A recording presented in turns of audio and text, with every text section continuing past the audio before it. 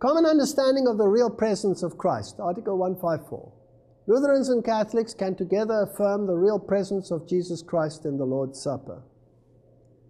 In the sacrament of the Lord's Supper, Jesus Christ, true God and true man, is present wholly and entirely in his body and blood under the signs of bread and wine. Can you believe that a Lutheran put his pen to that and signed it? My dear brethren, my dear Lutheran friends, are you going to walk over this precipice and give up your Protestant heritage? Common, this common statement affirms all the essential elements of faith in the Eucharistic presence of Jesus Christ without adopting the conceptual terminology of transubstantiation. So, what did they do? You don't like the word transubstantiation? We won't use it anymore. That's fine. But what happens is exactly the same, so who cares? That's what they've done. It's brilliant. It's evil. This is evil. That's spoken like a serpent. To the question of the real presence of Jesus Christ and its theological understanding is joined the question of the duration of the presence. Now you must understand what they're talking about. Because in Catholicism, you may venerate the host. You may venerate it. You can pick it up, this monstrance with a host in it, and then you can worship it. That is idolatry of the highest order. It is an abomination before God. Now let's read what Lutherans are willing to sign. All right, so the duration. He stays the body and blood according to Catholicism, and therefore is the real body, and you can venerate it. And with the question of the adoration of Christ present in the sacrament. That means you can venerate it, you can adore it, you can pray to it. Differences related to the duration of the Eucharistic presence appear in the liturgical practice. Catholic and Lutheran Christians together confess that the Eucharistic presence of the Lord Jesus Christ is directed towards the believing reception. That it nevertheless is not confined only to the moment of reception. So, in other words, it was body and now it's no longer body. You understand what I'm saying? And that it does not depend on the faith of the receiver, how closely related to this might be. Okay? So, how long does it stay the literal body of Christ? And they're saying, it's okay. Are they moving towards venerating the host? This is impossible. This is impossible. With regard to the issue that was the greatest importance for the reformers, the Eucharistic sacrifice. You see, Catholicism teaches that the Eucharistic elevation is exactly the same sacrifice as happened on the cross. That means Christ is perpetually sacrificed on a daily basis. It's not biblical. The Catholic Lutheran dialogue stated as a basic principle Catholics and Lutheran Christians together recognize that in the Lord's Supper, that Jesus Christ is present as the crucified who died for our sins and who rose again for our justification. Could you ever have imagined that a Lutheran Protestant organization could put pen to paper and sign something like this? Yes or no? This is unbelievable. Unbelievable. My question how far will you bend, Lutherans? How far will you bend? Let's just study Martin Luther. Because the very basis for duping the Lutherans into accepting something like this is what Martin Luther supposedly wrote, right? And said.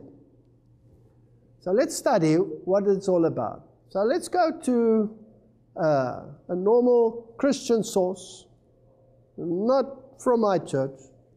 What are transubstantiation and what are constant substantiation? Martin Luther changed his view later to consubstantiation because he had a growth in Christian experience, but consubstantiation was also still wrong. And did he later change to the full Protestant view? Yes or no? That is the question. So let's look it up. What is the difference between transubstantiation and consubstantiation? The word transubstantiation derives from the Latin trans, across, and substantia, substance. The term is employed in Roman Catholic theology to denote the idea that during the ceremony of the Mass, the bread and wine are changed in substance into the flesh and blood of Christ, even though the elements appear to remain the same. This doctrine has no basis in Scripture. There are traces of the dogma in some of the post apostolic writings, and in the concept was vigorously defended in the early 9th century AD. It was adopted at the Fourth Lateran Council in 1215, formalized by the Council of Trent, and was reaffirmed at the Second Vatican Council. Rome never changes. Just a fact. Okay, what did Martin Luther believe initially? Consubstantiation is a term commonly applied to the Lutheran concept of the communion supper, though some modern Lutheran theologians reject the use of the term because of its ambiguity. So modern theologians should all reject it, not just some. But nevertheless, this is what they say. The expression, however, is generally associated with Luther. The idea is that in the communion, the body and blood of Christ and the bread and wine coexist in union with each other. Luther illustrated it by the analogy of the iron put into the fire, where both fire and iron are united in a red hot iron and yet each continues unchanged. So, really, not much difference between transubstantiation and consubstantiation. And the Protestant world argued with Luther. Zwingli argued with Luther on the issue. And uh, most of the Protestants wouldn't accept it. And his own theologians argued with him and didn't accept it. Martin Luther was, he was, he was clinging to some of the aspects of the Catholic theology. But, ah, what a relief. Table Talk, Martin Luther. What a magnificent book. And I've referred to it many, many times. This book has such a phenomenal history. Every single Protestant on the planet should read this book. This is the book where his friends and his colleagues wrote down what Martin Luther had to say around the table when he was not constrained by formal circumstances. So, what came out of his mouth is what he actually felt and believed. Beautiful. The book was banned on pain of death. Anybody who had the book was sentenced to death by Rome. They dragged the people out, murdered them, slaughtered them if they had the book. Eventually, they said, if you bring the book and we burn them, then we, they will be free from the sentence. So the books all disappeared. It had been translated even into High Dutch. And there the book was gone. And then, centuries later, someone was building a house and they dug up the foundations. And in the foundations, wrapped in wax and sealed in wax, they found a Dutch copy of this book. And even then, they were so afraid of the authorities, they smuggled it out to, to England. And there was a gentleman there was working at the king's court and he knew both languages and he was to translate it, and uh, he never got round to it. Then one night he had a dream. You can read it in the cover of the book. One night he had a dream, and he dreamt that an old man with a white beard said to him, You must translate that book. And he said, Yes. Oh, he got such a fright. He was going to do it, but forgot about it again and didn't do it. A week later, he was arrested. Nobody gave any charges. He was thrown in jail because the, in his dream the man said to him, I will give you time to translate it. And there he languished in jail. I forget the exact years, but could be seven years. And he translated the book, and eventually, through circumstances, it uh, ended up with the Archbishop, and eventually ended up in the English Parliament. And we spoke about the English Parliament yesterday, which was extremely pro- Protestant. And as a consequence of reading this book, the English Parliament didn't really want to be involved, or the Protestants didn't want to translate everything that Luther said because of what he had said about consubstantiation. But listen to what it says in this book. This is now what the Parliament decided. Whereupon they made report, dated the 10th of November, 1646, that they found it to be an excellent divine work worthy of the light and publishing, especially in regard that Luther, in the said discourses, did revoke his opinion which he formerly held touching consubstantiation in the sacrament. Whereupon the House of Commons, on the 24th of February 1646, did give order for the printing thereof. So the reason why they permitted the reprinting of this marvelous book was because Martin Luther had given up consubstantiation. Is this anywhere in this modern report of the Roman Catholic Lutheran dialogue? No, they deny it because it's deceptive. So I want to make sure, Martin Luther, what exactly did you write? This is Martin Luther speaking. Even so, we must let the words of Christ remain and speak of the sacrament in suis terminis in their terms, with such words as Christ used and spake. Do this must not be turned into offer this. So the sacrifice is. What signifies it to dispute and wrangle about the abominable idolatry of elevating the sacrament on high to show it to the people. What did Martin Luther call that? An abominable idolatry. What does the joint document say? You can do it. Because it's really the body and the blood. So let's not argue about how long it is there, but it's venerable. Hello?